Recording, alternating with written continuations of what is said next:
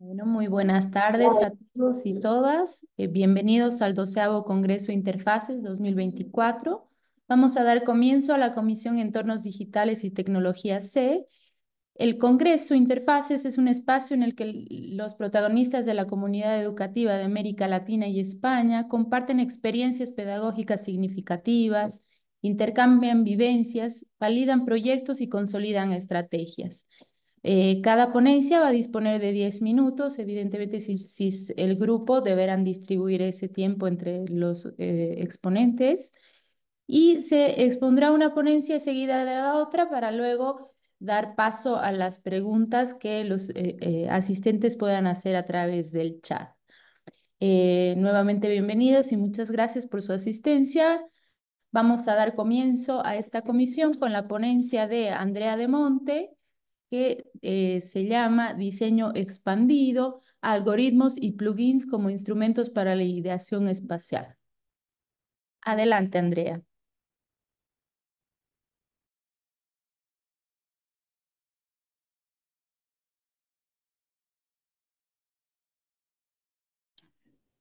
Está muteada, Andrea. Si puede activar su micrófono. Bueno, buenas tardes. Eh, les comparto la pantalla. Eh, agradezco la invitación a participar de este panel. Eh, como dijo la presentadora, este es mi tema. Yo soy docente de la Facultad de Arquitectura, Diseño y Urbanismo. Em,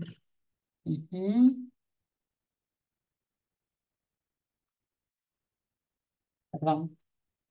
Eh, pertenezco a una cátedra dentro de la Facultad de Arquitectura y Urbanismo que se llama Introducción a los Medios Digitales. Es una asignatura que está en el cronograma de formación eh, de las carreras de Arquitectura y Diseño en la Comunicación Visual desde el año 2001.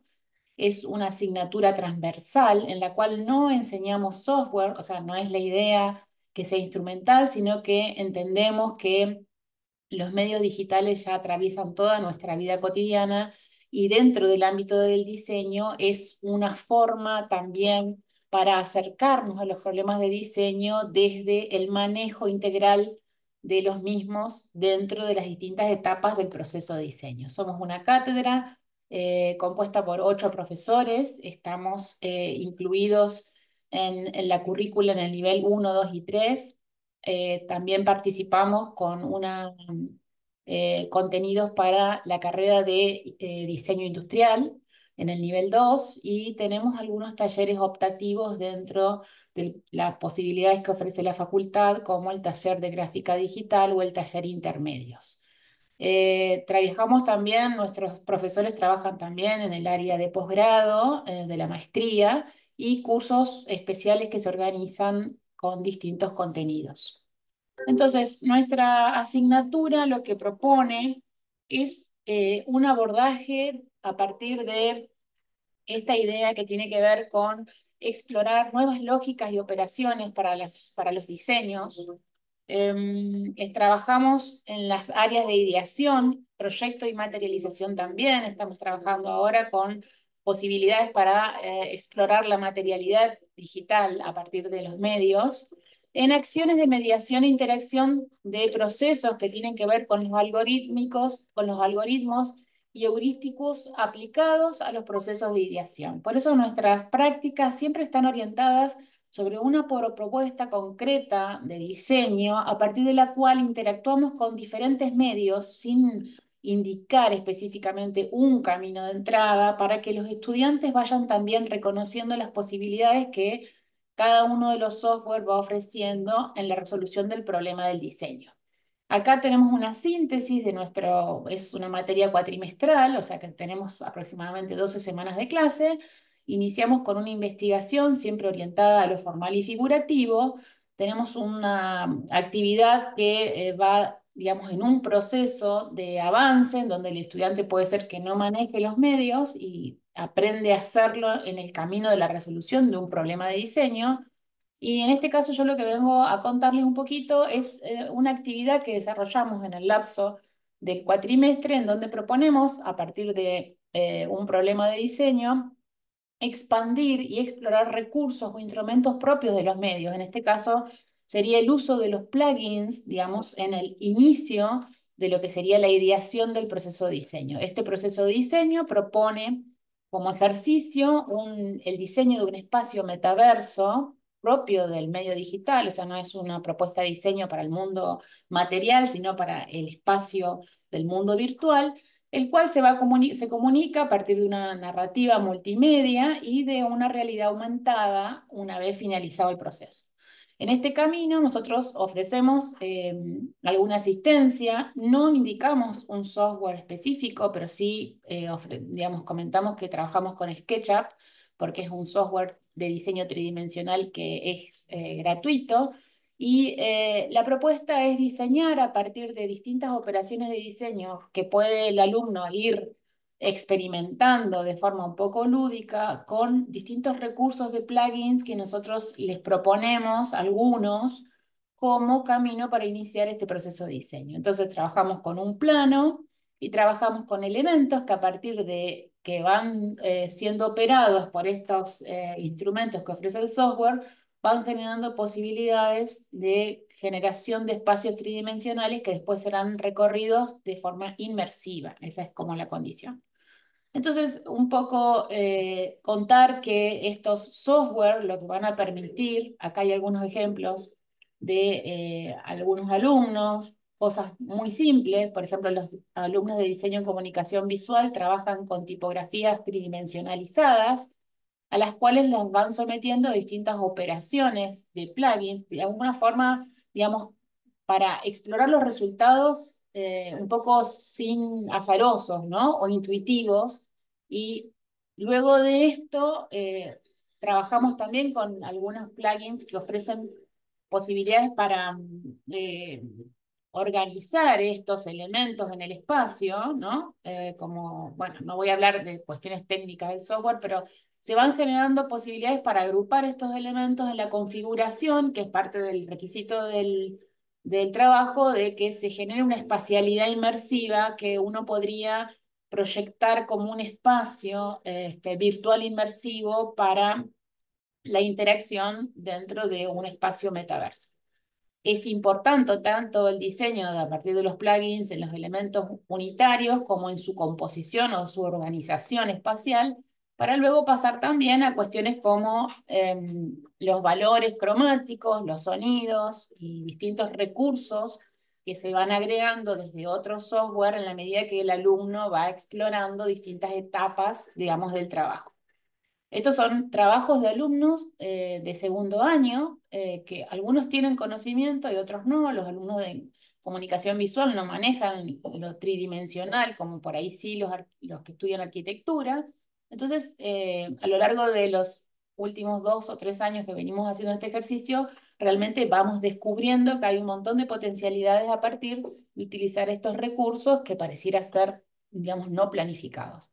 El trabajo termina con estas experiencias en las cuales ese diseño generado eh, se transforma en una realidad aumentada que se, la exponemos en, en, distintos lugares de la facultad y a partir de QR la gente puede ir interactuando con los resultados de las exploraciones formales eh, a la que llegan los alumnos en este ejercicio, digamos, que comienza con un problema de diseño y que propone el uso de estos plugins como recursos expandidos, le llamamos nosotros, con la idea de que expanden las posibilidades creativas que a lo mejor uno puede tener a priori, y resultan del hallazgo de la aplicación de estos instrumentos en el proceso de ideación.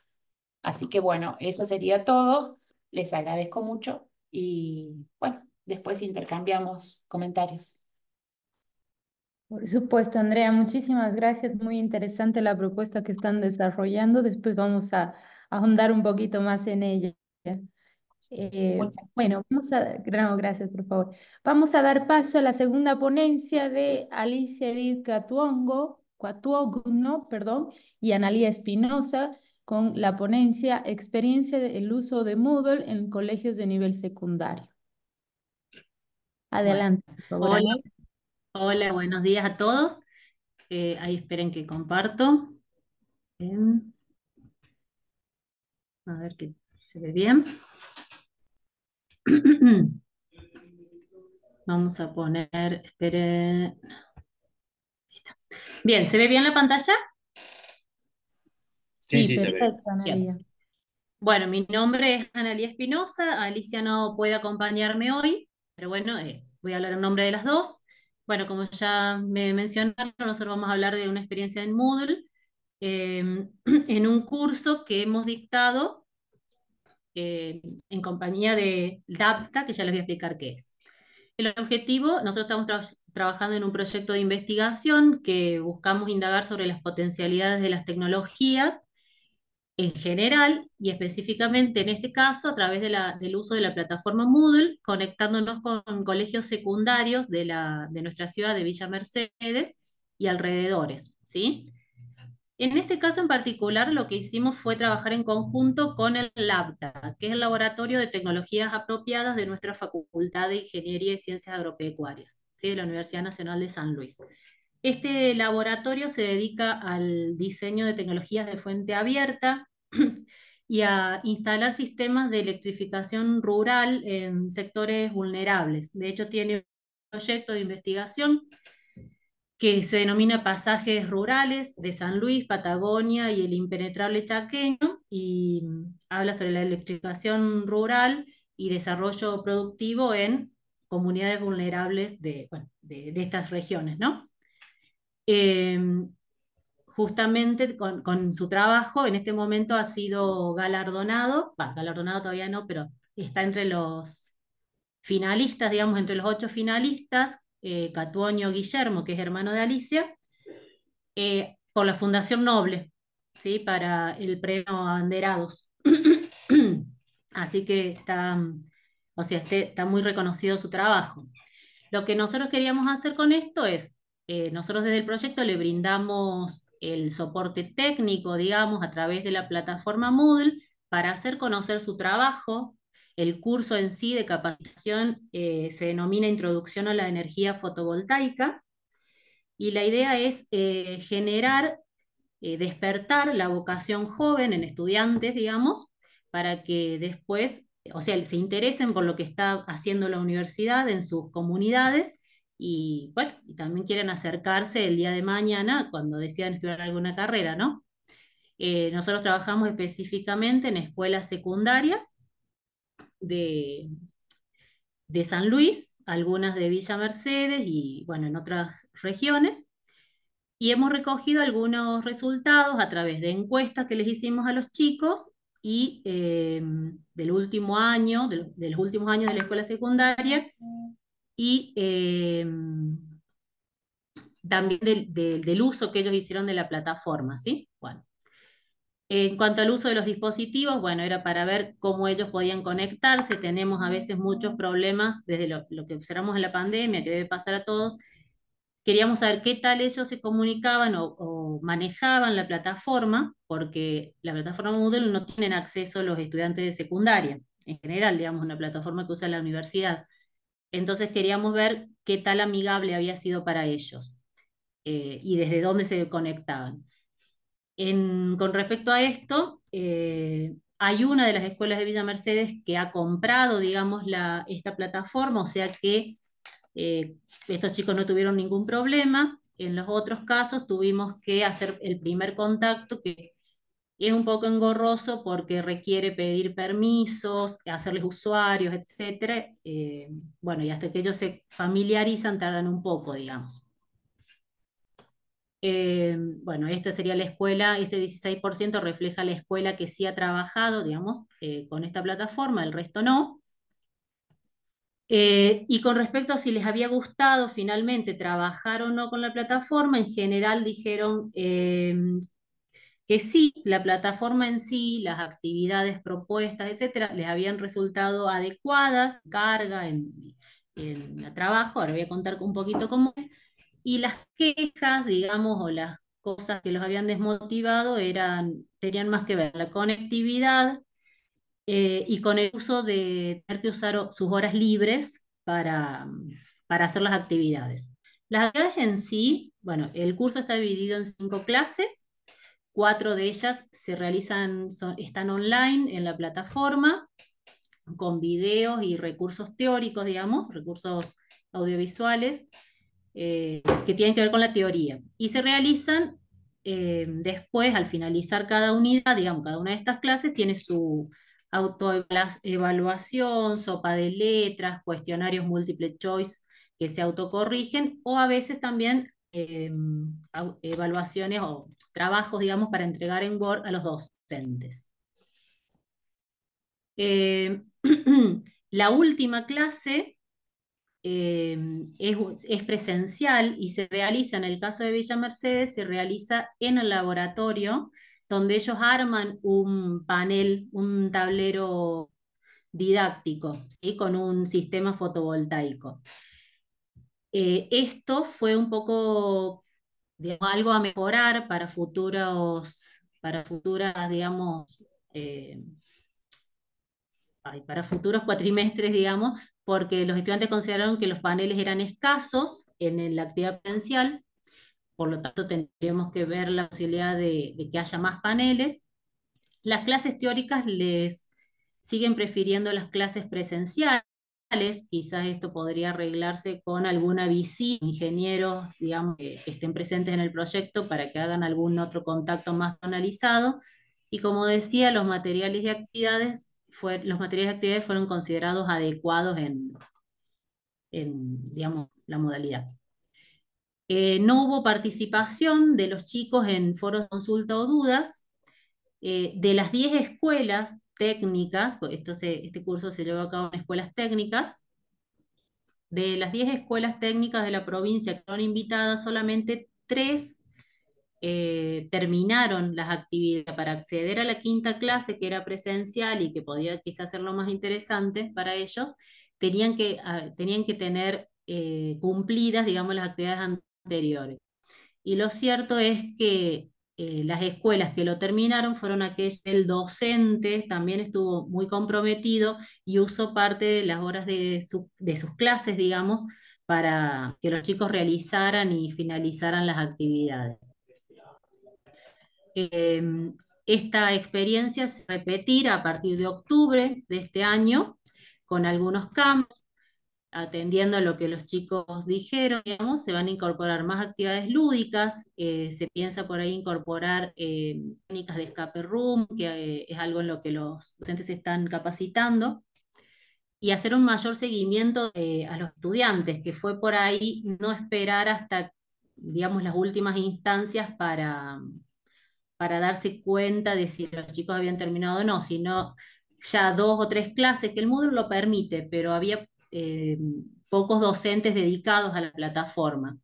Entonces, en este cuatrimestre lo que se piensa es desde una asignatura que es responsabilidad social y desarrollo sostenible de las ingenierías de FICA, eh, que haya como docentes tutores para realizar un seguimiento y apoyo a los estudiantes de las escuelas matriculadas para que puedan terminar y tener acceso a esta capacitación, y a la clase, que es lo más interesante. Em, bueno, y creo que nada más. Creo que me apuré para terminar. Pero bueno, espero que se haya entendido. Muchísimas gracias, muy interesante el proyecto que están llevando a cabo y seguramente va a obtener muy buenos resultados más adelante. Lo importante es que los chicos se interesen, ¿no? Por lo claro, que está pasando. Claro que sí. Claro que sí. bueno, gracias. No, por favor, Anali. Bueno, vamos a dar paso a Cristian Arellano y Juliano Ardizone con su ponencia Gamificación en Matemáticas Espaciales, Especiales, perdón, Experiencias con Kahoot. Bien, eh, ¿me escuchan bien? Sí, perfecto. Bien, ¿y ahí ya están todos viendo la pantalla? Genial. Muchas gracias, Alejandra. Bien, em, buenas tardes para todos. Em, bueno, mi nombre es Cristian Arellano.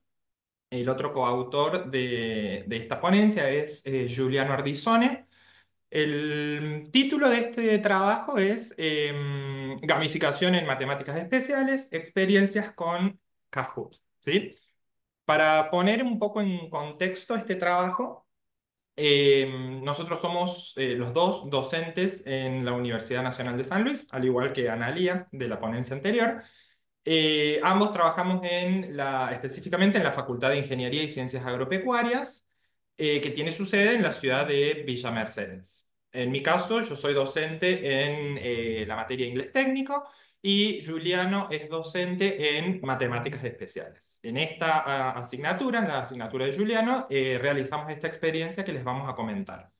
Em, esta materia, matemáticas especiales, está en el plan de estudios en segundo año, se dicta en el segundo cuatrimestre y, em, bueno, se dicta para seis carreras de ingeniería. Eh, ingeniería industrial, mecatrónica, electromecánica, electrónica, eh, química y mm, ingeniería en alimentos. Em, además, los dos formamos parte eh, de un proyecto de investigación, nos estamos trabajando como investigadores en este proyecto sobre eh, prácticas tecnopedagógicas disruptivas. Y bueno, justamente este trabajo se realiza en el marco de este proyecto en el que estamos trabajando. Em, el objetivo de este trabajo es compartir las experiencias áulicas en relación a las eh, nuevas instancias de autoevaluación que implementamos en esta cátedra utilizando eh, herramientas tecnológicas. ¿sí? Eh, todas las carreras de ingeniería de nuestra facultad se encuentran en este momento en el proceso de acreditación de sus nuevos planes de estudio. Y bueno, estos, como todos sabrán, estos procesos de acreditación conllevan cambios para dar cumplimiento a los estándares solicitados. En el caso de la cátedra de eh, matemáticas especiales, se decidió incorporar nuevas instancias de eh, evaluación eh, utilizando herramientas tecnológicas. además de la, mm, vamos a decir, tradicional, tradicional evaluación hetero, eh, con heteroevaluación nos referimos a la evaluación del eh, docente, o sea, la evaluación por parte del docente de los estudiantes a través de parciales o en el caso de matemáticas especiales, practiquitos. Bueno, eh, además de esas instancias tradicionales, decidimos incorporar instancias de autoevaluación, ¿sí? Nos interesaba enfocarnos en la autoevaluación porque les da la posibilidad a los estudiantes de mm, eh, hacer un monitoreo de su desempeño en, el, en, la cursada de la materia y les permite poner en práctica eh, el uso de herramientas eh, o de estrategias, vamos a decir, metacognitivas, que les permiten evaluar su propio proceso de aprendizaje. ¿sí? estas instancias de autoevaluación se pensaron o se diseñaron para realizarse en momentos claves de la cursada antes de los parciales, como un repaso preparcial. Y eh, bueno, luego de explorar distintas opciones de herramientas, eh, optamos por elegir eh, Kahoot porque ofrecía las prestaciones que mejor se condecían con el propósito que nosotros teníamos en mente a la hora de diseñar esta actividad. Em, entre esos propósitos que nosotros teníamos en mente, queríamos ofrecerles a los estudiantes prácticas que rompieran la rutina, eh, lo habitual del cursado de matemáticas especiales. Eh, queríamos que sean prácticas que ellos encuentren motivadoras e interesantes. Eh, queríamos incorporar el elemento lúdico y la gamificación, y bueno, Kahoot es muy versátil en ese sentido.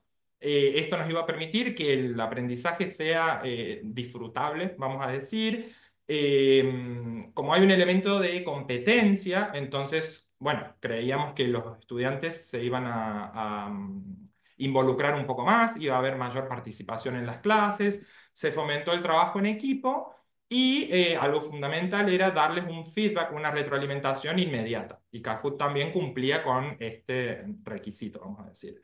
Em, lo último que les comento yo, y ya después sigue Juliano narrando la experiencia, Em, les comenté que, bueno, diseñamos tres instancias de autoevaluación.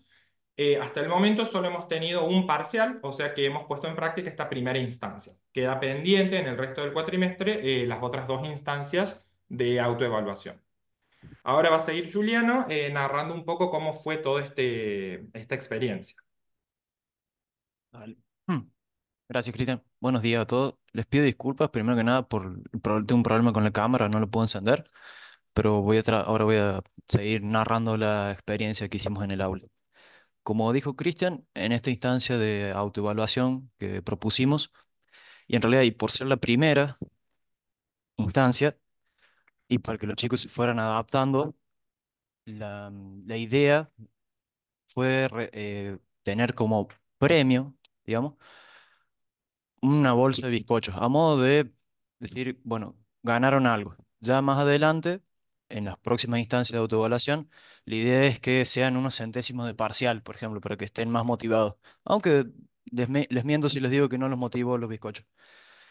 Bueno, el día de que realizamos esta actividad, en realidad los chicos iban a tener una clase de teoría y la profesora me avisa que ese día justo estaba descompuesta, que no lo íbamos a poder hacer, que diéramos una clase de repaso y decidimos proceder entonces a primera hora. Bueno, hagamos esta actividad ahora con los chicos, les explicamos de qué se trataba Kahoot, o sea, les presentamos qué es Kahoot, porque la mayoría, si no casi todos, no lo conocían en la- al, a la página, un sitio web en realidad, no sé si decirle software, no lo- nadie lo conocía Kahoot, entonces les explicamos qué es lo que era, cómo funcionaba, les proyectamos en el pizarrón el código de, mm, para conectarse a la aplicación, les dibujamos en el pizarrón las, no sé si lo han utilizado, pero acá en la pantalla se ve, eh, lo que ven, a- lo que están viendo ahí que dice Kahoot con la pregunta, ustedes ven la pregunta y debajo tienen solamente número 1, 2, 3 y 4, que son las opciones para las, para las posibles respuestas.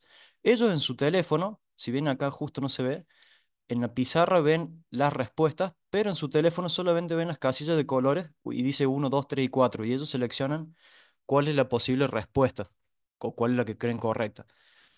Entonces, bueno, eso fue lo que les explicamos en el, en el. Eh, les pedimos que hicieran 10 grupos porque Kahoot eh, de manera gratuita solo permite formar 10 grupos, así que eran grupos de entre 4 y 5 chicos. En ese momento no, no habían ido todos, como era clase de teoría y no es obligatoria la teoría, no, no estaban todos los chicos. Así que se formaron los 10 grupos, les dimos unos minutos. Una vez que estábamos todos conectados y que les explicamos cómo funcionaba la mm, Kahoot, empezamos con el cuestionario. Hubo un total de 7 preguntas, algunas teóricas y otras prácticas. Eh, la mayoría, 6, fueron de opción múltiple, que tenían 4 opciones cada una, y una sola fue un verdadero falso. Y cada, em, cada pregunta tenía un tiempo para responder, que eso después nos dimos cuenta, que el tiempo fue un poco limitado, ¿sí? Una cuestión a tener en cuenta para futuras experiencias también, más que, entre otras cosas, por la dificultad y también por la cuestión de la conexión de internet, porque en el campus eso no funciona muy, no estaba funcionando muy bien y si están todos los chicos conectados afecta la velocidad y también no los dejaba contestar a tiempo.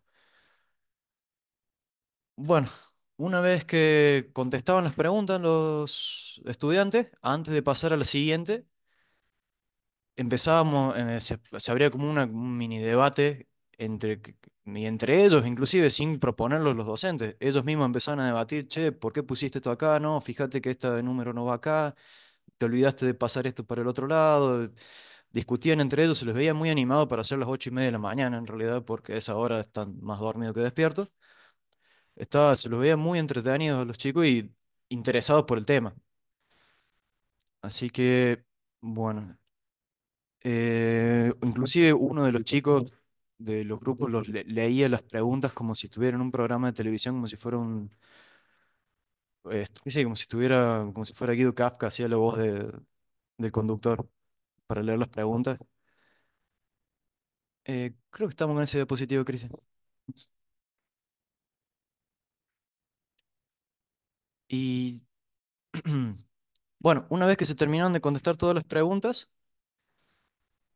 pasamos, el programa te va diciendo quién respondió correctamente, qué grupo contestó correctamente y el tiempo en el que le contestó también les da puntaje. Entonces, eh, en función de eso, cada, eh, a medida que contestaban cada pregunta, i- iban mostrando qué grupo tenía más puntaje. Hasta la pregunta 5 iban ganando los grupos de los chicos que sabemos que les va bien en los parciales, que siempre se sientan adelante, que están atentos en clase. Pero en las últimas dos preguntas remontó un grupo de, de chicos que, de otros chicos en realidad, y terminaron ganando. Lo que, eh, lo que sí, perdón, alguien está levantando la mano. Me parece que queda un minutito y ya tenemos que ir redondeando. Ah, perdón, perdón, gracias. Lo que quería decir es que el grupo que ganó no fue un grupo de, de los, de los chicos 10, por decirlo de una forma, sino que fue un grupo cualquiera, demostrando que en ese contexto todos pueden ganar y que no... eh, Eso también motiva, mostrar que todos pueden eh, ganar, no siempre tienen que ser los chicos más aplicados los que ganan y que se llevan el premio. Bueno, eh, acá un poquito de lo que les decía recién, el, el tiempo fue muy corto para algunas preguntas, el wifi- el acceso a Wi-Fi fue limitado, para la próxima tendríamos que decirles que carguen datos en el teléfono en caso de hacerlo, o buscar alguna forma de que, que se conecten desde una computadora al, al- por medio de la red. Y bueno, no sé, Cristian, si vos querés pasar con las reflexiones Bueno, finales, ¿qué quedás vos? dale. Bueno, eh, para cerrar eh, nuestra ponencia, eh, nos interesa mm, compartir mm, estas reflexiones finales como para tenerlo en cuenta, como dijo recién Juliano, para futuras experiencias. Eh, en primer lugar, algo que nos parece fundamental es que lo pedagógico se antepone a lo tecnológico, es decir, eh, el uso, la- en realidad la selección de la herramienta que vayamos a utilizar depende del propósito de la actividad. O sea, yo primero tengo que tener en claro qué quiero hacer, qué objetivo tengo en mente y en base a eso vamos a ver qué eh, aplicación o qué recurso se presta para realizar esa actividad y cumplir ese propósito. Em, después, con respecto a las limitaciones, bueno, como dijo Juliano, el acceso a Internet y también el uso versiones, eh, perdón, el uso gratuito de estas versiones eh, es una limitación. Eh, nosotros trabajamos en una universidad pública, em, no tenemos recursos como para pagar em, y, y para tener uso completo de estas aplicaciones, entonces, bueno, terminó siendo una limitación. Por ejemplo, como dijo Juliano, solo pudo haber preguntas verdadero o falso o de opción múltiple, pero en realidad Kahoot ofrece otros 10 tipos de preguntas que no pudimos aprovechar. O eh, solamente había, eh, o sea, solamente podía haber 10 participantes, por eso tuvieron que trabajar en equipo. Y en principio a nosotros nos interesaba que sea un- una actividad individual. Eh, Era imposible, o sea, si tenemos 40 alumnos, no había forma porque la, la aplicación solo nos permite 10. Y por último, eh, desde el punto de vista de los estudiantes, eh, notamos que bueno, los resultados fueron muy positivos, hubo una participación activa, se los vio muy motivados, o sea que creemos que realmente se favoreció un aprendizaje significativo, pero desde nuestro punto de vista como docentes, eh, significó un desafío el desarrollo o el diseño de esta actividad porque em, el desafío está en poder plantear la consigna o diseñar la actividad de modo tal que sea significativa en relación al saber, es decir, eh, que se cumpla el propósito inicial pedagógico que tenemos en mente, que no sea solo un juego, sino que ese juego realmente nos permita cumplir el objetivo en mente. Eh, bueno, eso es todo. Eh, quedamos atentos a mm, preguntas que pueda haber en la parte final de debate. Muchas gracias. Muchísimas gracias, Cristian. Muchísimas gracias, Juliano. Muy interesante la experiencia y nos ayuda a ver cómo las tecnologías pueden ayudarnos en estos procesos de enseñanza-aprendizaje, ¿no? De manera significativa. Habrá que reflexionar posteriormente hasta qué punto eh, nos, facilitan en nuestro medio. Eh, bien, eh, les dejamos abierto el chat para que hagan las preguntas a los, a los expositores. Y voy a dar paso a la siguiente ponencia con, no está, em, bueno, con Gerardo Elías Navarrete, Terán, eh, con el uso ético de la inteligencia artificial en la educación superior, desafíos y oportunidades para América Latina. ¿Estás por ahí, Gerardo? Adelante.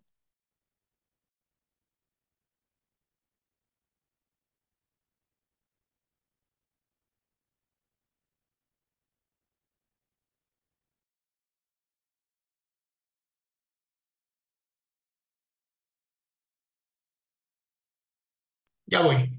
una disculpa. Tengo aquí un detallito con mi, con mi equipo.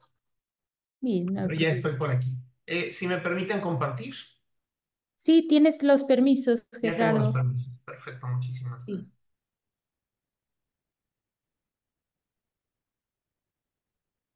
Voy entonces a iniciar la presentación. Una disculpa por el retraso. No te preocupes, Gerardo.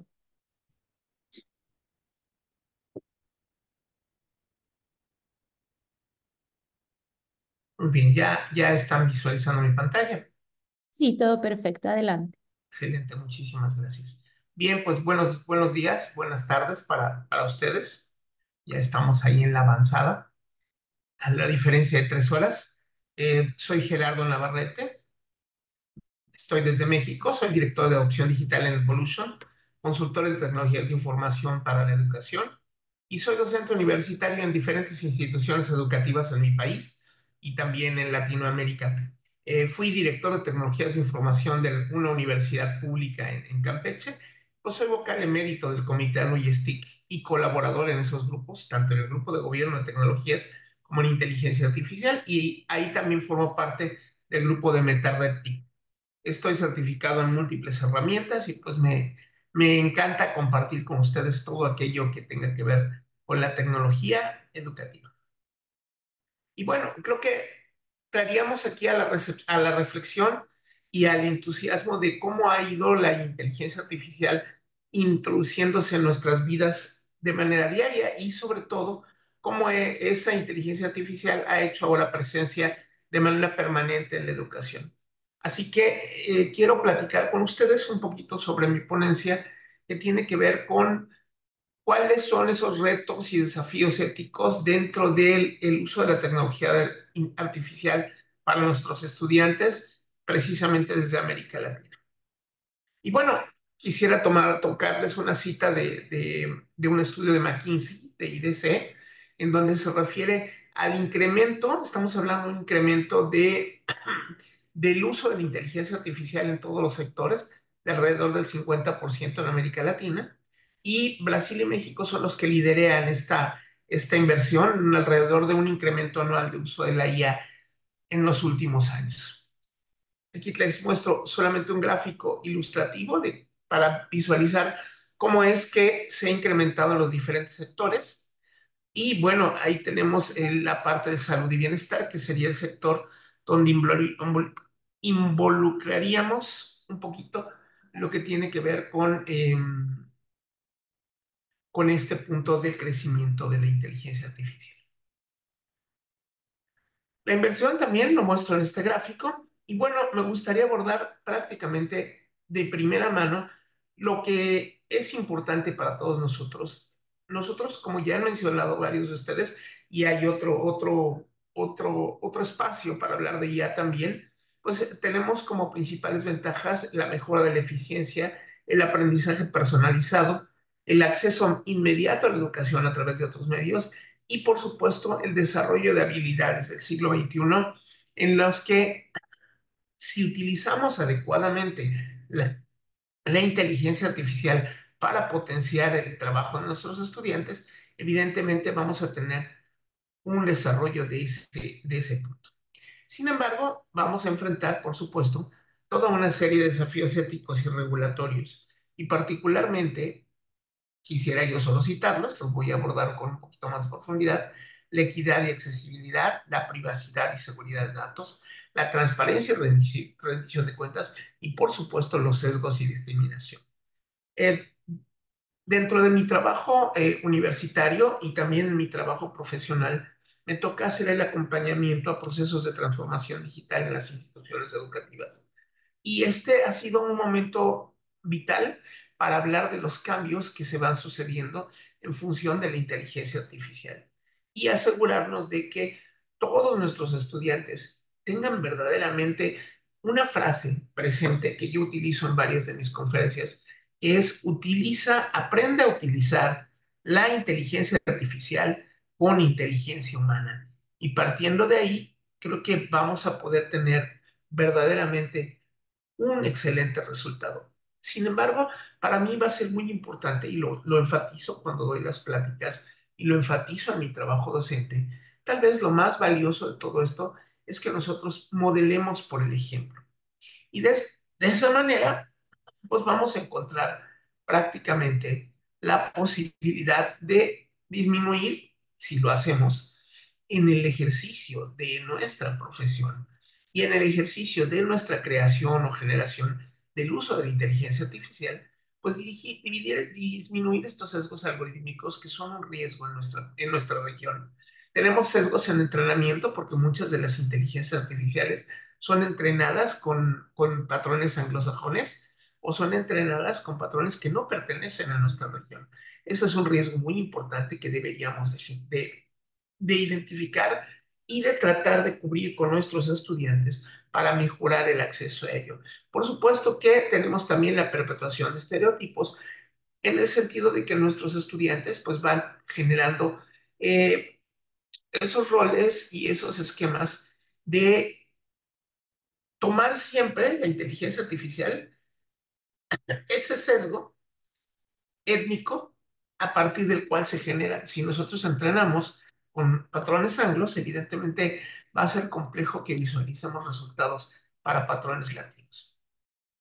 Y por supuesto, otro de los marcos, de los detalles que tenemos que considerar y educar a nuestros estudiantes en ello, es en el conocimiento del marco legal, que en América Latina todavía está muy sesgado y muy, muy limitado. No tenemos el marco normativo necesario.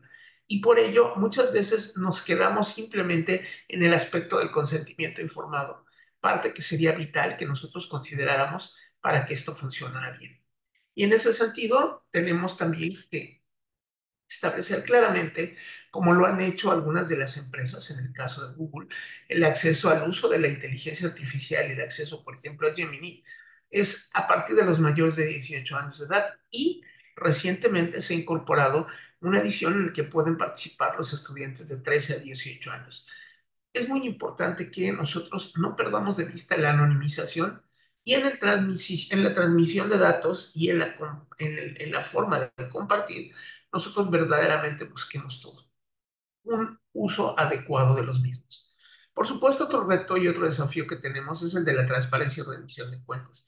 Y ahí habrá que pedirles a las empresas y nosotros como universidades, que somos generadores ya de herramientas de consumo de inteligencia artificial, pues hacer esa auditoría de algoritmos y verificar que estemos haciendo nuestros prompts y desarrollando nuestras aplicaciones de la mejor manera, con uso de información abierta y algo que en nuestro país, en México y que en muchos otros países latinoamericanos existe, que es ya el derecho a la información, a la seguridad y a la privacidad de tu información.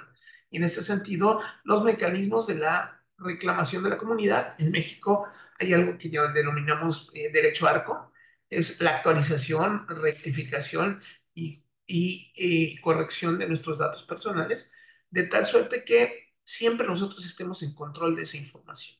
Y por supuesto, en ese sentido, es muy importante cómo la comunidad y cómo nosotros vamos construyendo cuando utilizamos herramientas gratuitas en esta construcción y en esta creación de la información que nosotros mismos generamos. Y esto nos va a llevar a otro desafío que es la necesidad, como yo les decía, de modelar, por ejemplo, implica precisamente esa formación docente, ese desarrollo de currículos y fomentar en nosotros como profesores y como investigadores el desarrollo de esa investigación y esa experimentación. No podemos mostrarles a nuestros estudiantes, es un desafío muy importante, no podemos mostrarles a nuestros estudiantes cómo funcionan las cosas si nosotros no tenemos un claro conocimiento de las mismas. Y por ello, y ya cerrando mi participación, espero haya sido lo suficientemente breve y que haya tenido un contenido adecuado para ustedes, pues sabemos que tiene la IA una, un potencial extraordinario para transformar la educación.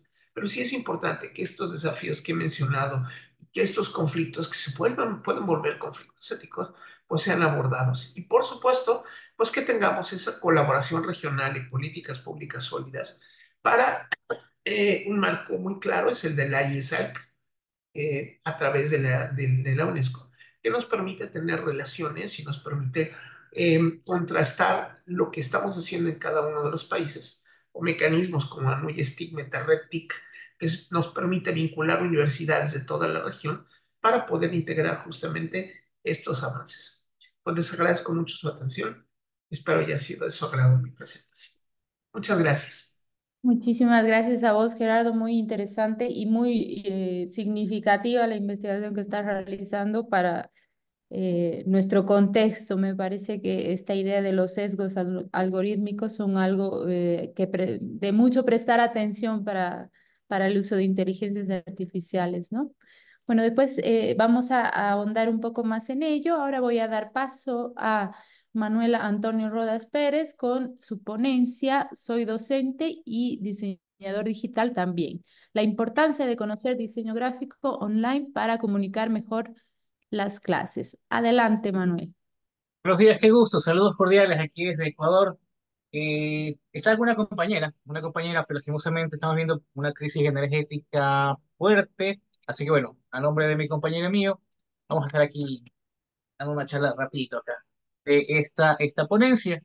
¿Qué trata, no? Soy docente y diseñador digital también. Importancia de conocer el diseño gráfico online para mejorar la comunicación en clase. Si hablo un poquito rápido, me avisan porque yo soy medio acelerado por hablar, así que voy a hablar más despacio, pero con darle que entre los 10 minutos de, de, la ponencia como tal. ¿Qué ocurre actualmente, mis queridos docentes, mis queridos amigos, compañeros?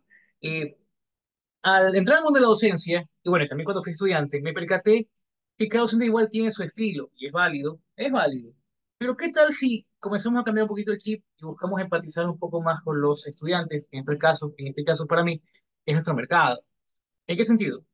Fíjense que cada universidad o cada instituto tiene sus plantillas, pero esas plantillas se repiten en cada materia año tras año, y a veces pueden ser como un poco eh, muy tradicionalistas, eh, clásicas, no voy a decir aburridas, pero tienen un patrón, si se dan cuenta, ¿no? El formato blanco, el tipo de gina, y eso al final causa un poquito de, no sé, de aburrimiento al estudiante. Así que bueno, ¿qué ocurre? Que aparece por nuestra plataforma como Canvas, eh, que nos puede dar un poquito más de alegría a la clase, como estamos viendo acá también, acá en esta presentación. Ok, ahora sí. Esto me presento rápido, por si acaso no leer todo esto aquí, porque es mucho. Ok, Manuel Rodas Pérez, Manuel Rodas Pérez, aquí desde Ecuador. Eh, por cierto, les un saludo de mi universidad. Soy docente de la Universidad de Santa Elena, de la UPSE. Un saludo por ustedes aquí también desde Santa Elena, UPSE. Inclusive tenemos un congreso que también comienza mañana, que también ustedes van a estar invitados, si desean. Congreso de Comunicación y Audiencias Digitales. Ok, años de trayectoria como docente, en la carrera de comunicación, eh, marketing, eh, bueno, diseño publicitario, X cosa, ¿no? Ahí están mis eh, líneas, ¿ok? Mi compañera, que no puede estar presente acá, pero igual la nombro acá, Sandra Maldonado, también está en, en, diseño, producción audiovisual, también compañera mía de la UPSE. aquí, bueno, acá la represento en nombre de ella. Pero sí, volvemos acá a la ponencia como tal. En Ecuador, aproximadamente un 70% de los estudiantes reconoce que aprendió o aprende, uy, menos con las clases que son virtuales. ¿Cómo es la cuestión? Son clases virtuales. ¿Y por qué no aprenden más allá? Ok. La educación virtual en el Ecuador es una forma de enseñanza y aprendizaje en línea que permite a los estudiantes acceder a materiales de curso, interactuar con profesores y otros estudiantes y completan sus tareas, exámenes a través de la plataforma virtual. Todo esto eh, se potencializó más por el tema de la pandemia. Pero que, insisto, ¿qué ocurría? Hay estudiantes que no se conectan o se conectan con la cámara apagada o están ahí bostezando, capaz están hasta dormidos, qué sé yo. Pero ahí viene un poco la interrogante. Si nosotros como docentes eh, hiciéramos las clases más interactivas, eh, más dinámicas, o en este caso visualmente más atractivas, eh, considero, por mi experiencia que me ha dado resultados, en que el estudiante va a atender mejor la clase y va a estar más atento a la clase, va a estar mejor conectado. Ahora, ¿cómo hacemos eso? Originalmente así utilizamos PowerPoint, pero con el tema de las plataformas digitales que actualmente existen, podemos dar una clase más vistosa, a través de Canvas, por ejemplo. ¿Y qué más me ha dado buenos resultados? Entonces, ¿Qué nos, como, ¿Qué nos toca como tarea, mis queridos docentes aquí de América Latina? Eh, aprender, perder el miedo a diseñar. No es tan complicado, Canvas amigable, no es Illustrator, no es un CorelDRAW, es Canvas, es amigable. Entonces, conocer las herramientas digitales actualmente eh, resulta mucho más importante para hacer una clase mucho más creativa. Aparte de la gamificación también, ¿no? No he tocado para nada gamificación. Actualmente existen plataformas de diseño gráfico online que permiten estas formas, eh, una forma más fácil de crear contenido audiovisual y dinámico. Inclusive, Acá puedo hacer animaciones en Canva, por ejemplo, versus un PowerPoint que es un poco más estático. Herramientas son importantes eh, y permiten a los docentes y estudiantes trabajar de mejor manera, inclusive con enlaces, eh, accediendo a entornos virtuales, inclusive haciendo revistas digitales también. Entonces, todo esto crea una interacción mucho más dinámica, pero más divertida también para los estudiantes, para que puedan aprender de una mejor manera. ¿Ok? Un claro ejemplo de esto es Canva, justamente. Bueno, Canva, ¿no? que ha revolucionado la comunicación visual y, como digo, es amigable y para todos los usuarios. O sea, eh, qué chévere. Ojo que no le hago publicidad a esa plataforma, pero creo que ha servido bastante, o al menos en mi caso particular, en que los chicos estén más conectados. ¿Ok? Hay que una mía que no sé qué hace por ahí, pero estoy con bebé que que no es mi hijo, pero estamos por aquí también. Antes el docente dependía de las plantillas institucionales y esto hacía repetitivas y aburridas las clases. Y van a decir que no, sí o no. Yo entiendo que hay docentes que son tradicionalistas y respeto mucho eso. Pero, insisto, las mismas plantillas en PowerPoint, en Word, eh, hoy en día podemos utilizar diseños más interactivos. Ahí viene la, el tema. A la nueva generación, los nuevos estudiantes, la parte tecnológica, eh, inclusive de manera virtual podemos hacer muchas más cosas que de manera presencial. El docente digital se hace esencial dentro de las nuevas metodologías académicas. Sí, es que compañeros, tenemos que también nosotros entrar al mundo digital. Eh, prometen Canvas, también Kahoot, por ejemplo, que vimos hace un rato, inclusive también con las inteligencias artificiales, con lo que tampoco toco ese tema, pero muy buena la, la, la ponencia de otro compañero. Entonces, yo sí considero que podemos ser un poquito más flexibles, no menos, más flexibles, ¿no? Eh, a aventurarnos, es que tal vez cuál es el temor, es que tal vez nos da, nos da miedo, tal vez y quedar mal con los estudiantes, por ejemplo. Capaz yo te puedo tener una iniciativa, pero al final no conocer las herramientas, y capaz de poner un poquito de temor. No, es que tal vez la clase saldrá mal, eran mis estudiantes. Entonces, esas cosas hay que, hay, hay que aprender un poquito a dejar ese temor, a ser más flexibles, más actuales, ¿ok? Diseñar una clase eh, también comunica mejor la clase. Nos ahorra también tiempo, inclusive. Un buen diseño también nos ahorra un poco todo este, todo esta, este parlamento que nos toca hablar en clases. Eh, pero hemos venido a, crear, a crear una clase divertida, sí hay que hacerlo Entiendo, cada uno tiene su estilo, porque me he topado con compañeros y compañeros, y me topé con docentes y docentes rígidos, y los respeto mucho, pero creo que podemos ser un poquito más dinámicos, más alegres, ¿ok? Entonces, ¿qué pasó por aquí? A ver, me falta acá. Ok, uy, me fui largo, pero me disculpas. ¿Pero qué ocurre? Lo importante es comenzar. Hacíamos un garabato. No importa, al menos comenzar con algo. Y lo bueno que Canvas nos permite eso, ¿no? Ya nos da plantillas para poder diseñar. Entonces, ¿cuál es un poco aquí la, la charla? Es que compañeros docentes esperamos el miedo y comencemos a, a, diseñar. ¿No hay excusa para no diseñar? No lo hay actualmente. Las herramientas digitales permiten explorar nuevas técnicas y adaptarse a demandas del mercado y las tendencias actuales. Claro, es más fácil, antes era más complicado. Por ejemplo, esta clase, eh, hace unos 10 años atrás, equivalía a que estemos dando una clase de Illustrator, por ejemplo, para hacer más interactiva las clases. Tal vez por tiempo, eh, eh, manejar esa plataforma ilustrador es más complejo, pero actualmente con Canvas es mucho más fácil. Entonces así hemos generado un impacto al provocar sensaciones y emociones que vinculan al estudiante, al alumno.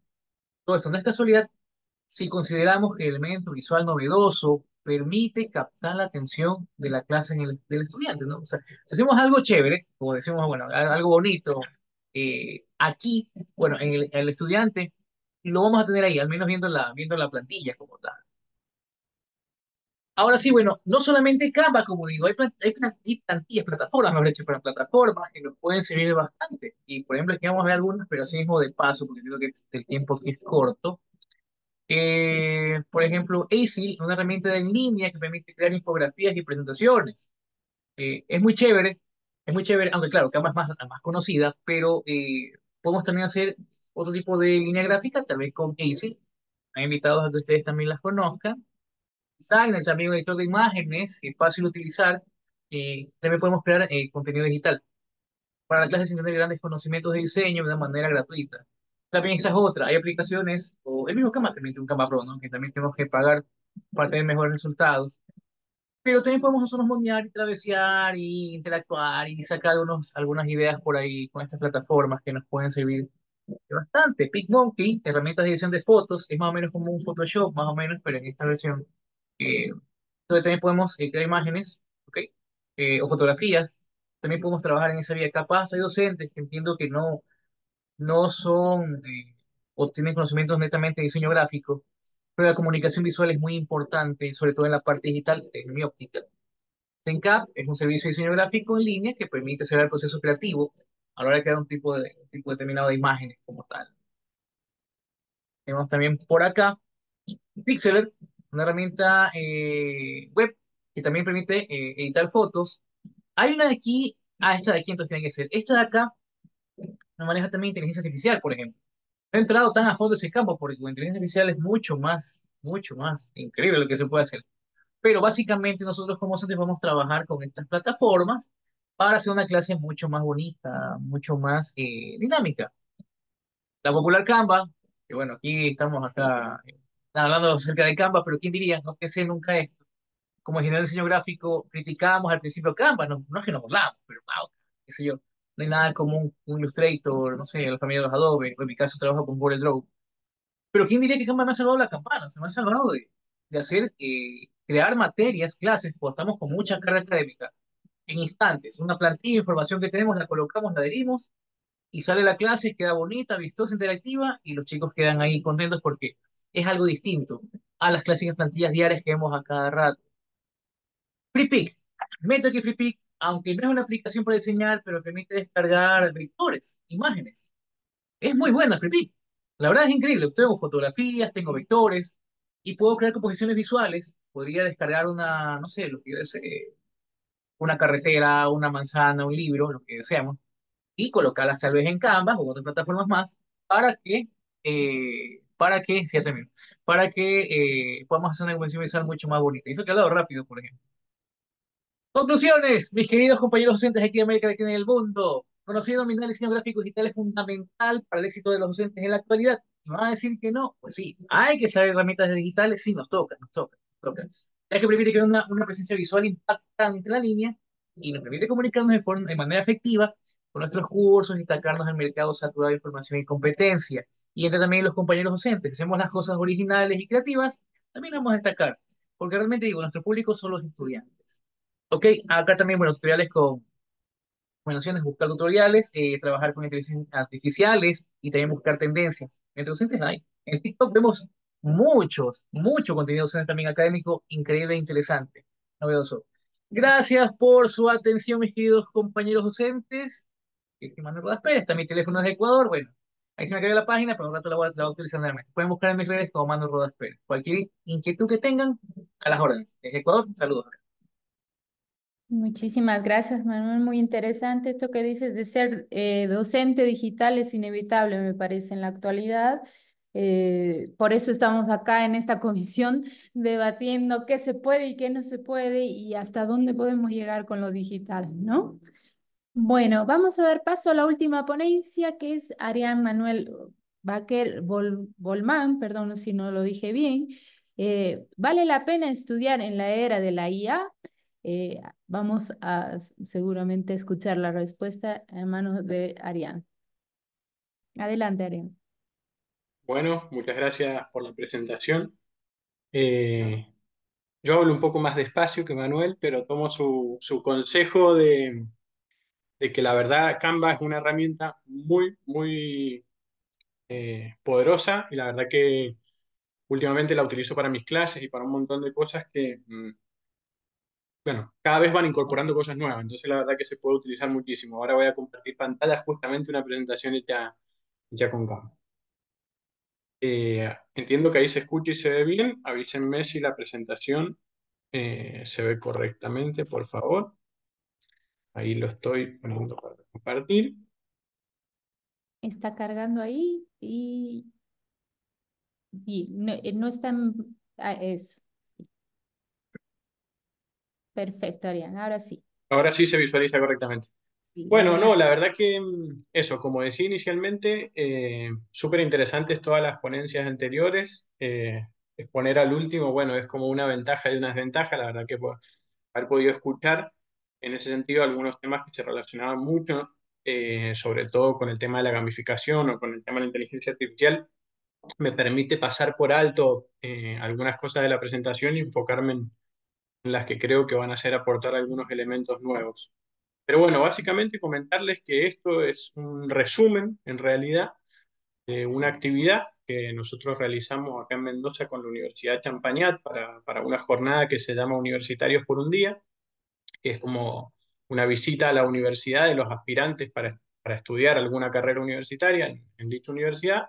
Y bueno, básicamente la idea era ponerle un poco un título un poco provocador y tratar de esbozar una respuesta a esta pregunta en relación a que con todo lo que estamos viendo de la irrupción de la inteligencia artificial en, nuestra vida cotidiana, en nuestro, en nuestro espacio laboral, bueno, toda esa influencia, bueno, pone en jaque muchas cuestiones y la idea era partir de esta pregunta provocadora y disparadora inicial para, para encontrar algunas respuestas de, eh, de, qué, de qué tenemos también que encontrar en, los sistemas y en, educativos tradicionales para, para que siga sumando toda esa educación en nuestros perfiles y en los perfiles sobre todo del futuro.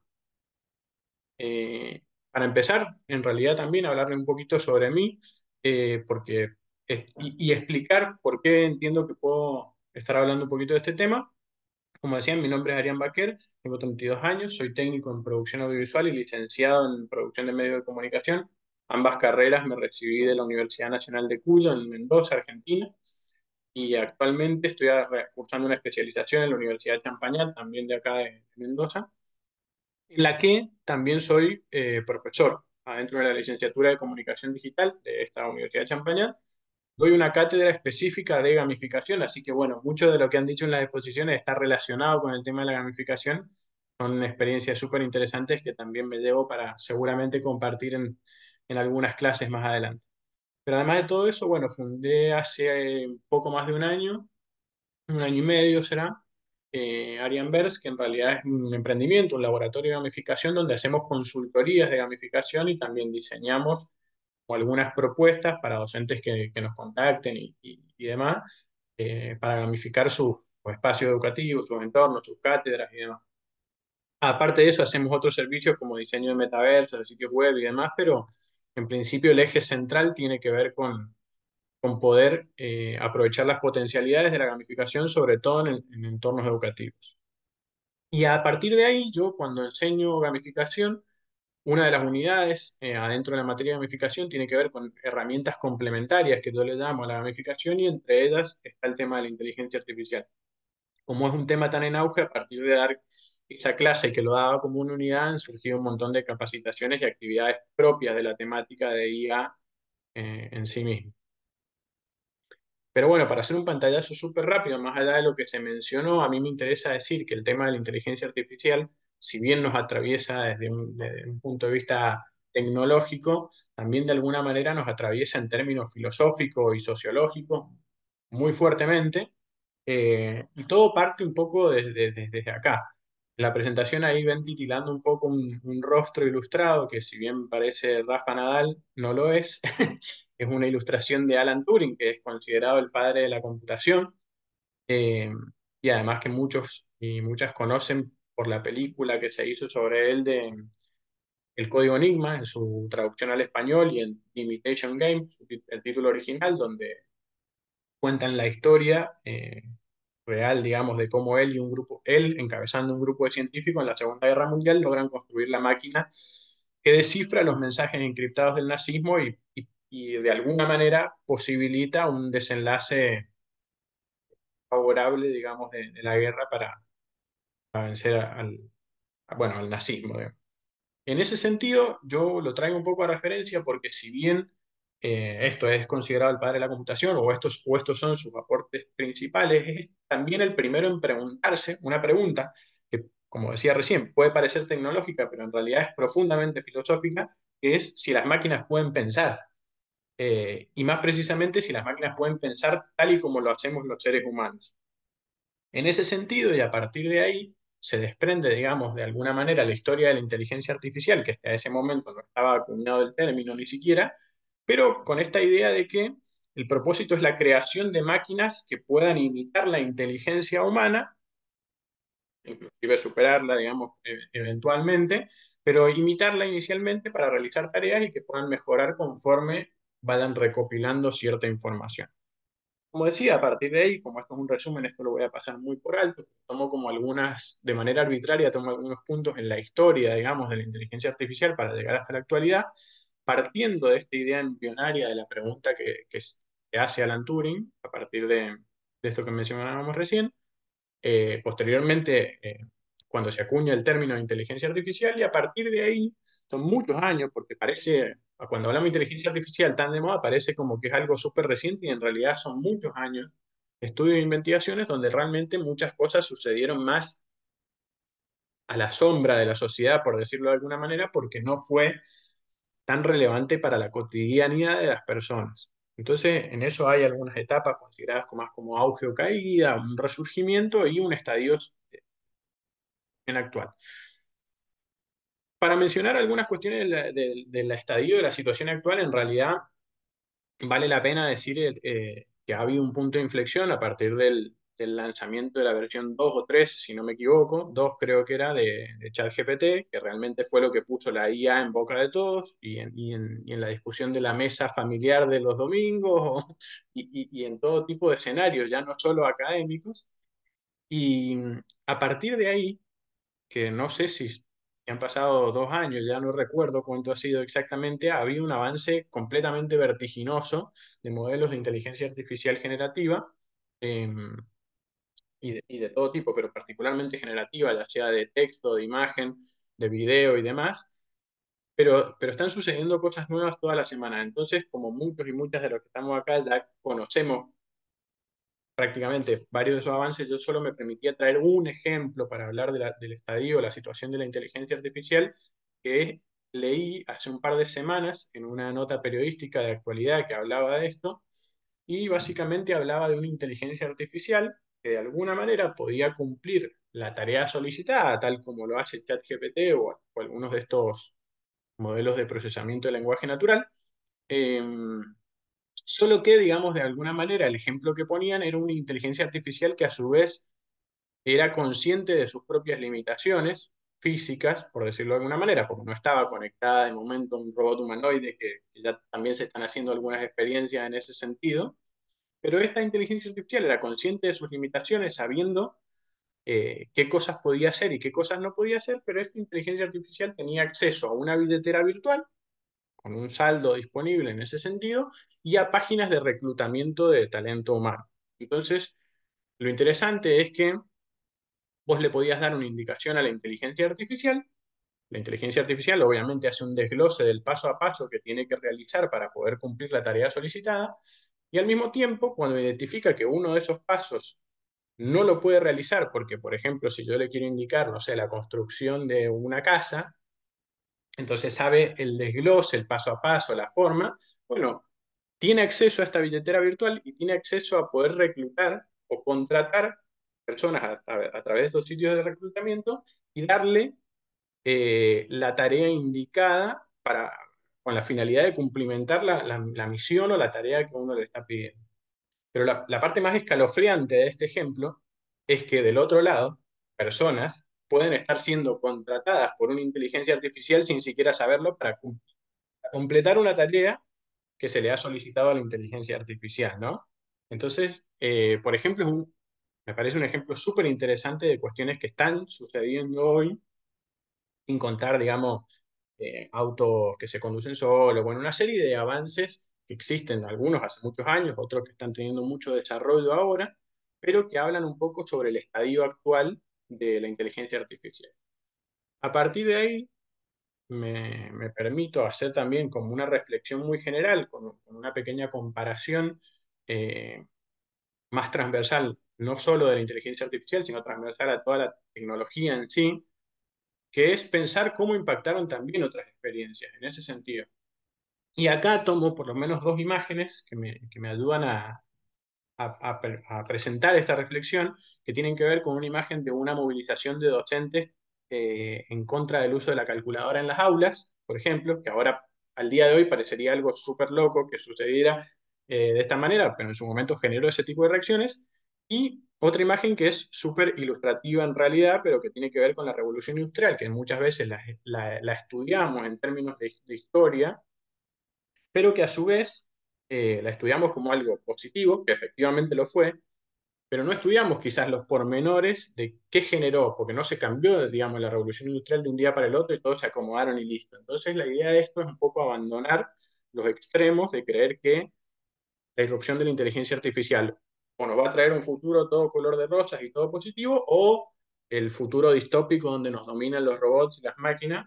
La idea es acompañar un gris donde sepamos que que es una herramienta que nos permite muchísimas potencialidades y al mismo tiempo va a poner un montón de cuestiones en jaque y hay que estar preparados para eso. Ahí ya voy terminando porque vi, la manita.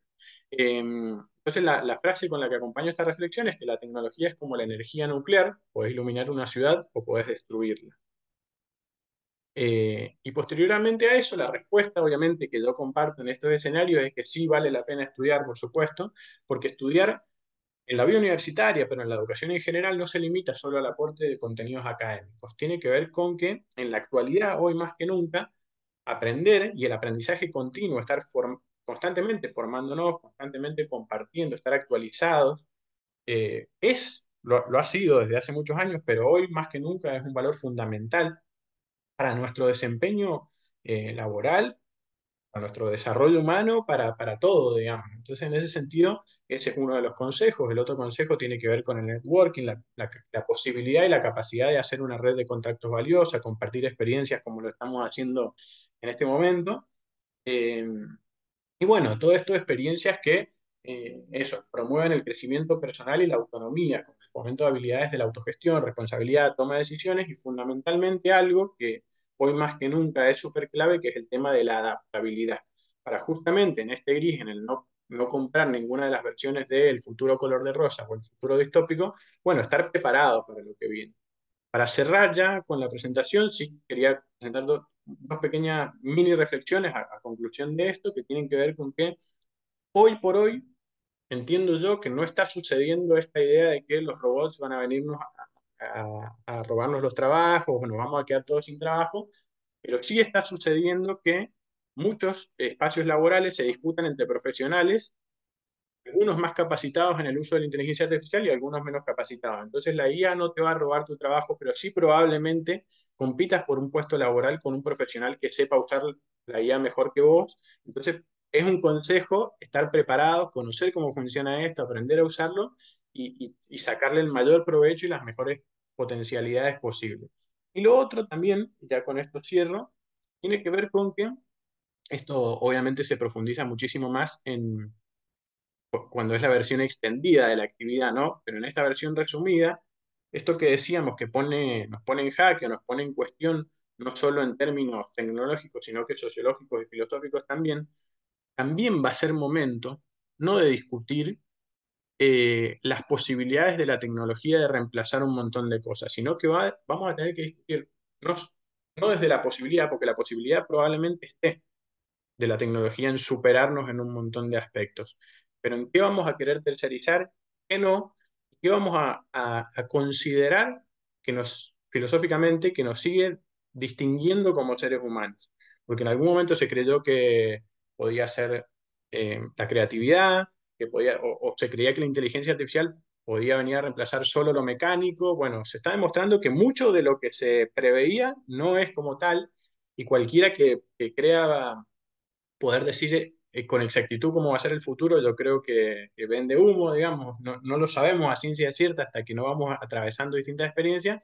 Entonces, en ese sentido, repensar qué nos hace humanos y qué queremos y que no queremos tercerizar en máquinas va a ser algo fundamental para el futuro que se aproxime. Así que bueno, con eso cierro y muchas gracias. También ahí, como el, resto de compañeros y compañeras expositoras, dejo mi nombre y mi mail, sitio web del emprendimiento y, cualquier cosa quedo a disposición de preguntas y el contacto que sea necesario. Muchas gracias. Muchas gracias, Arián. Muy, muy interesante el planteamiento que haces y concuerdo contigo y, y, supongo que todos concordamos contigo en que sí hay que estudiar, que la inteligencia artificial no nos da todo, todo el conocimiento y, y todas las estrategias necesarias para manejar ese conocimiento, ¿no? Eh, creo que ahí está el desafío docente y con ello eh, doy una especie de conclusión en relación a todo lo que se ha expuesto en esta comisión. Creo que la, lo, digital, las inteligencias artificiales, las tecnologías, las nuevas tecnologías empiezan a, aparecer en el entorno educativo como herramientas que nos ayudan a más bien eh, atraer un poco la atención de los estudiantes de alguna u otra manera y facilitar el proceso de enseñanza-aprendizaje. Sin embargo, no, eh, y, concuerdo con cada uno de ustedes, que no, no sustituye de ninguna manera el conocimiento que el docente pueda eh, transmitir a ellos, ¿no? Eh, bien, habiendo dicho esto, eh, no sé si alguien tiene alguna pregunta, lo puede hacer a través del chat. Yo inicio con una pregunta catalizadora en el sentido de que vayamos empezando a pensar cuál es el rol entonces del docente y, y qué, qué nos toca ahora en este sentido de absorbemos, hay un sinfín de herramientas digitales, hay un sinfín de, de, eh, de tecnologías y de plataformas que podrían justamente, como dice Arián, por ahí reemplazarnos de alguna u otra manera y que se piensa que podrían reemplazarnos. Entonces, ¿cuál es el, la función y el rol docente en este planteamiento? No sé si alguien eh, lo, quiere empezar a, a dialogar con ello. Adelante, Manuel. Eh, veo que la, nos estamos eh, abocando al tema central, que es el tema candente dentro, por lo menos, del área del, de la, del aprendizaje, que es la inteligencia artificial, ¿no? Y todos estamos preocupados por cómo incluir estas nuevas, eh, estos nuevos instrumentos dentro de lo que es el aprendizaje. yo creo que sí cambia completamente cualquier, como ya mostraron varios, digamos, la aparición de nuevos, nuevos eh, instrumentos cambian completamente las necesidades de enseñar qué y de aprender qué, fundamentalmente. Sin olvidar que la inteligencia artificial es un predictor, o sea, funciona de una manera predictiva, o sea, no es infalible, no es un sistema que tenga respuestas adecuadas o las mejores para cualquier cosa. Entonces, eh, hay una primera cosa que me parece que es central, que es aprender a discernir y tener una mirada crítica eh, sobre qué recursos, qué resultados, qué cosas. Entonces, quizás una cuestión importante que vamos a tener que aprender todos y desde el ámbito del aprendizaje sobre todo, es ejercer ese juicio crítico para poder seleccionar aquellas cosas que sí nos sirven y saber para qué cosas sirven, que seguramente sirven, ¿no?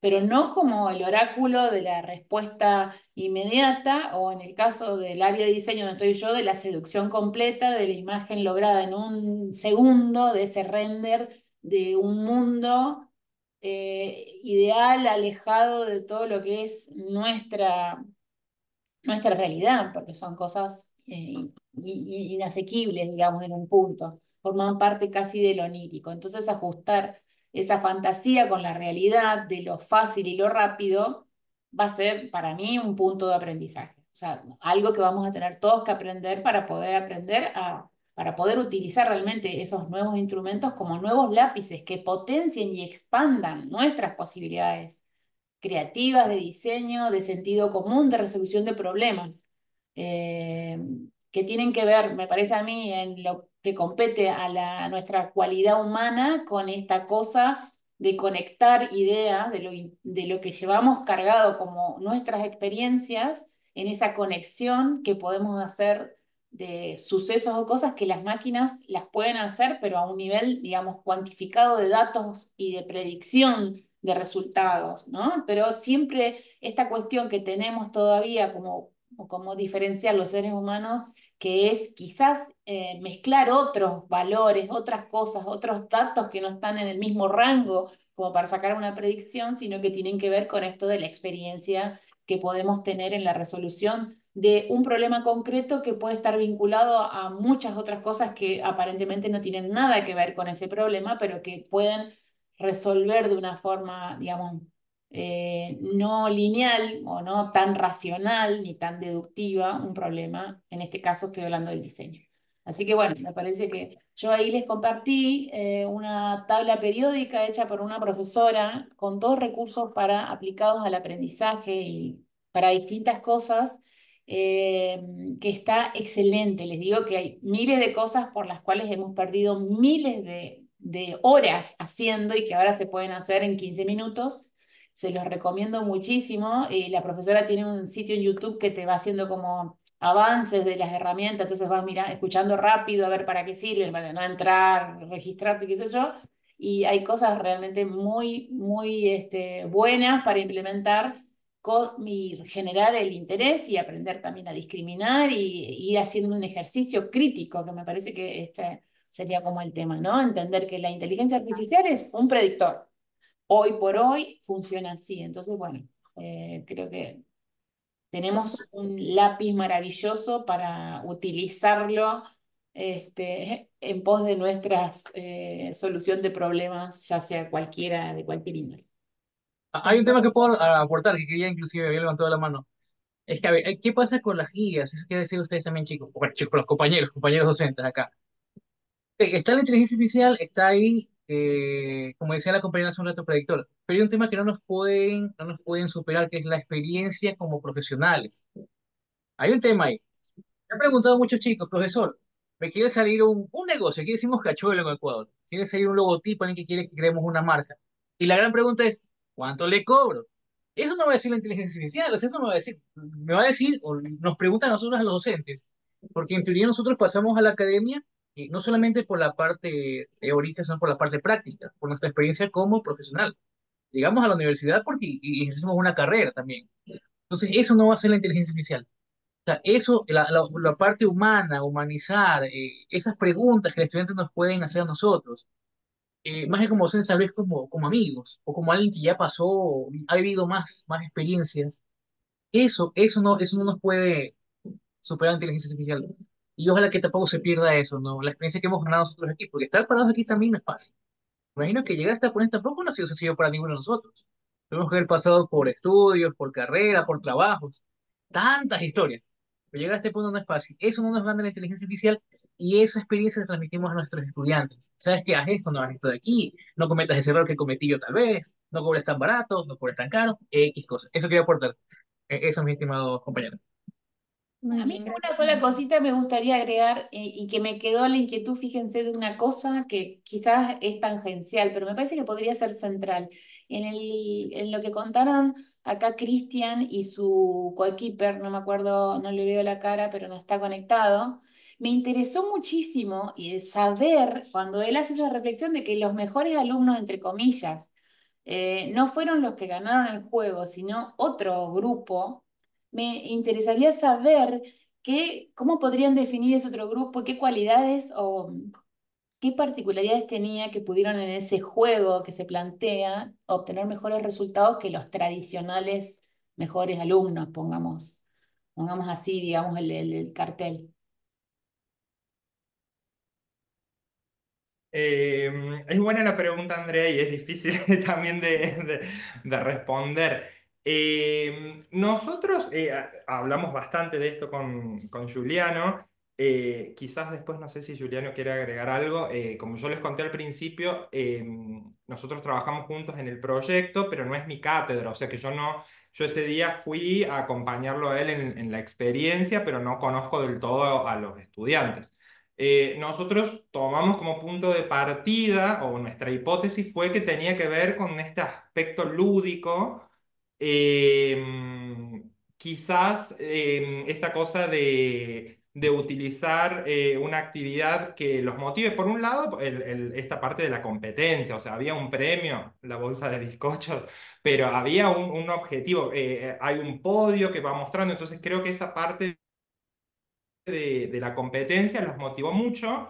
Y después esta otra parte de eh, lo lúdico, de cómo el cerebro, la mente se predispone de forma distinta partiendo de una actividad que encuentro entretenida, que me divierte. Eh, esa es nuestra hipótesis, pero en realidad no, no lo tenemos en claro. No sé si quieres agregar algo, Juliano. Eso sería una buena pista para saber eh, cómo quizás lo que nosotros tradicionalmente entendemos como mejores alumnos, más aplicados, más resolutivos, más orientados, quizás frente a otros recursos que se le proponen para el aprendizaje, quedan en, otra situación aquellos que por ahí no eran. por eso me interesa saber a lo mejor qué, cuáles serían esos hilos para ir despertando qué cosas. Eh, em, que sería como mm, una posibilidad para un montón de grupos de alumnos que a lo mejor se aburren o tienen otros problemas, pero no es que no puedan perfectamente resolver los problemas, sino que están, como vos decís, o desmotivados, o desconectados de la acción, que no, no sé, digamos que puede ser potencialmente algo interesante para indagar, ¿no? Poder describir o hacer hipótesis sobre qué pasa cuando vos le planteas otro tipo de actividades y estos grupos eh, de golpe toman la posta de la, de la cuestión.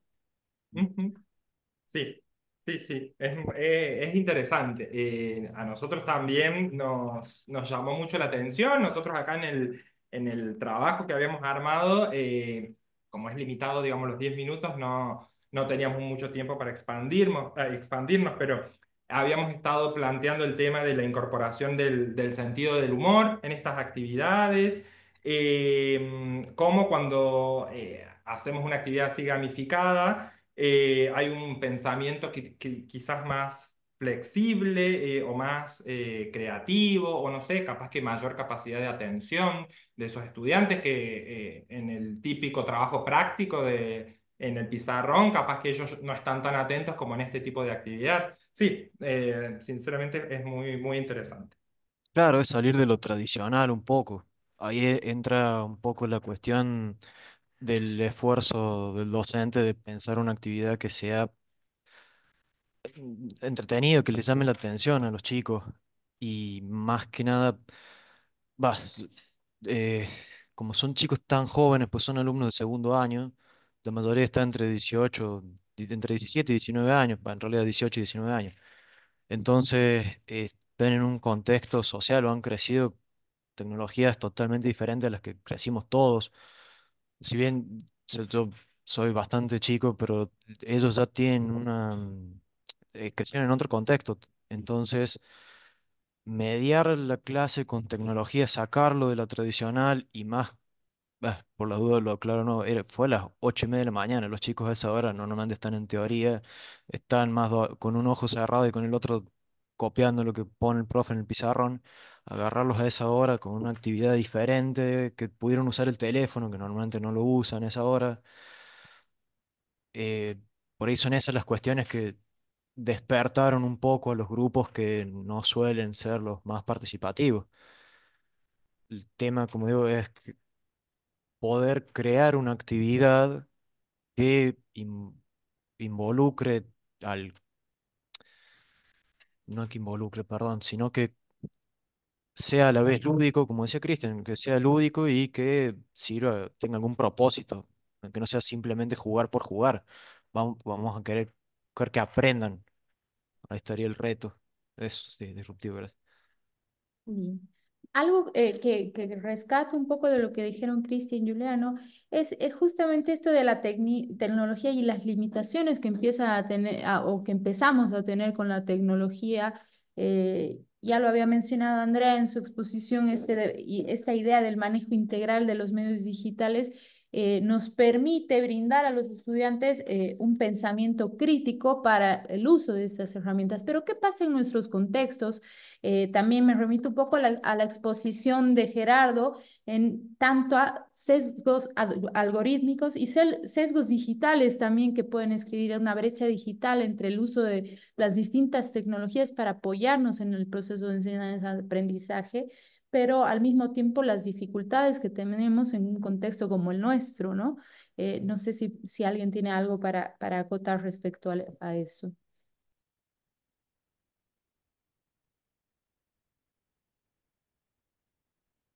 Eh, yo creo que es un tema especial y creo que quizás el camino va a ser que nosotros vayamos diseñando nuestras propias inteligencias artificiales aplicadas a nuestros intereses, o sea, a un futuro, digo, ¿no? O sea, así como a los alumnos eh, enseñarles un software no sirve porque todo cambia muy rápido, entonces vos le enseñas algo hoy que ya en seis meses caducó o que no tiene la computadora que lo puede hacer correr porque son programas de pago o porque eso se actualiza y tenés que pagar un abono inviable, entonces hay que enseñar, tratar de ejercitarlos en esto de voy saltando de lugar en lugar lo que tengo que saber es qué es lo que quiero hacer y qué, qué me ofrece cada cosa. Entonces, con esto sería como lo mismo, o sea, estamos hablando de recursos que hoy por hoy son este, inteligencias predictivas, no son inteligencias, no, serían, serían predicciones inteligentes, ponele, y que tienen a su vez el sesgo de el que, el que diseña eso tiene un sesgo particular sobre el cual nosotros nos sometemos, que podría ser también la paleta de instrumento que te ofrece un software determinado. Entonces, vos ya sabés que si utilizás esta inteligencia vas a tener estos resultados, tenés que ir mezclando y e, ir hibridando un poco para no quedarte pegado con lo que te ofrece solo uno. Entonces, quizás en un futuro, por lo menos en la arquitectura, ya hay antecedentes de que hay estudios que están diseñando de acuerdo a sus rutinas o sus modalidades de trabajo, inteligencias eh, aplicadas al desarrollo de lo que a ellos les interesa con su propio sesgo, que sería su propio sello, su autoría o sus ideas. Quizás no sería algo tan loco de pensar que en algún momento se pudiera, así como se abrieron, por ejemplo, el diseño de la web 2.0 permitió que todos fuéramos autores de contenidos en la web, cuanto antes solamente lo podían hacer aquellos que sabían programar, y de golpe pudimos todos tener un sitio y publicar contenidos, quizás en un tiempo no tan lejano, esto también suceda con estos, estos nuevos dispositivos que permitan que uno tome determinada plantilla y la modalice para el trabajo o para lo que necesita o de la manera en que lo necesita. Entonces, bueno, sería una manera de ir, digamos, recortando el sesgo por lo menos a lo que uno, a lo que uno considera que sería más, más pertinente para la tarea que hace o más apropiado, con un sentido determinado, etc.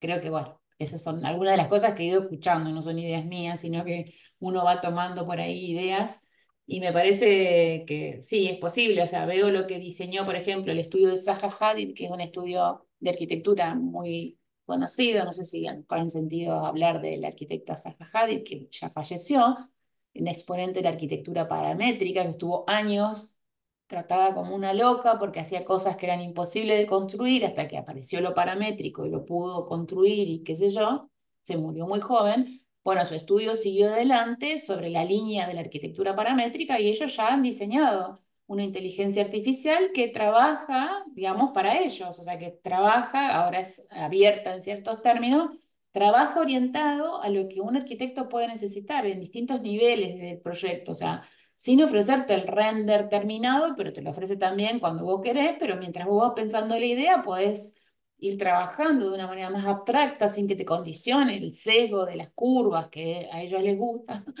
en la resolución del problema de diseño. Entonces, bueno, una opción quizás a futuro sería que cada uno de nosotros pueda generar sus propias IA aplicadas a lo que... A la propia impronta, ¿no? A la propia impronta y a las necesidades que tenga que resolver.